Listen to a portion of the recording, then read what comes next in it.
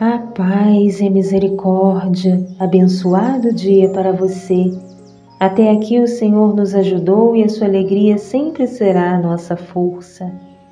Que a palavra de Deus te abençoe e te fortaleça, e que o Espírito Santo possa nos ajudar a acolher no coração. Vinde, Espírito Santo, enchei os corações dos vossos fiéis e acendei neles o fogo do vosso amor.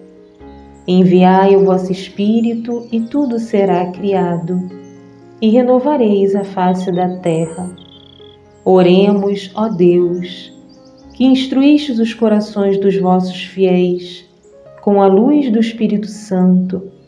Fazei que apreciemos retamente todas as coisas, segundo o mesmo Espírito, e gozemos sempre da sua consolação.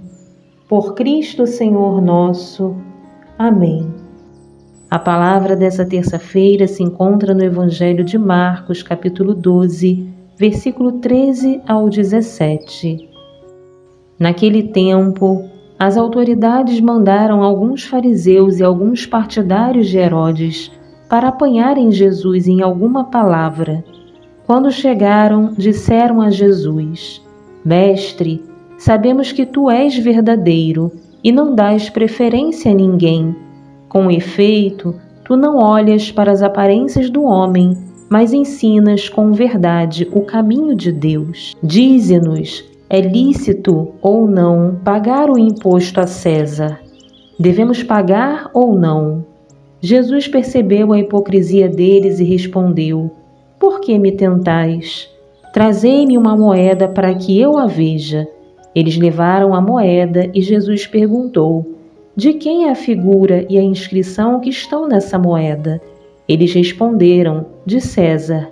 Então Jesus disse: Dai, pois, a César o que é de César, e a Deus o que é de Deus.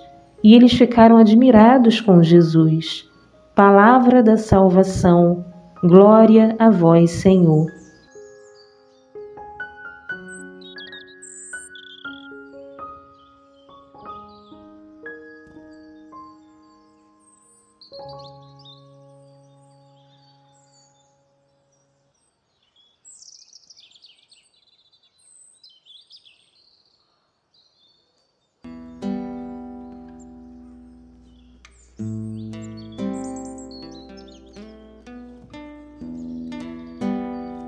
Amado irmão, amada irmã, a palavra de hoje nos alerta sobre as hipocrisias em nosso meio. Vejam que aqueles homens, mesmo querendo causar um desconforto a Jesus, eles o tratam com referências falsas, com elogios exagerados. E não porque Jesus não fosse tudo aquilo, mas porque dentro do coração daqueles homens tinham pensamentos contrários. Filho e filha, que possamos saber distinguir em nossos relacionamentos, em nosso cotidiano, toda a hipocrisia que vem até nós, toda a falsidade. Jesus tinha o poder de ver além das aparências, ele vai até o coração do ser humano. E nós, às vezes, até percebemos quem é falso conosco, mas tem vezes que as pessoas se aproximam de nós como verdadeiros lobos em pele de cordeiro. Cuidado! Não se vanglorie com elogios demasiados e principalmente de todo mundo. Que tenhamos muitos colegas, mas poucos amigos.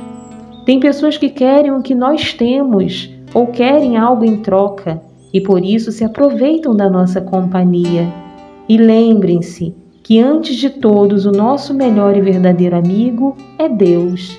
A Ele podemos rasgar o nosso coração sem medo.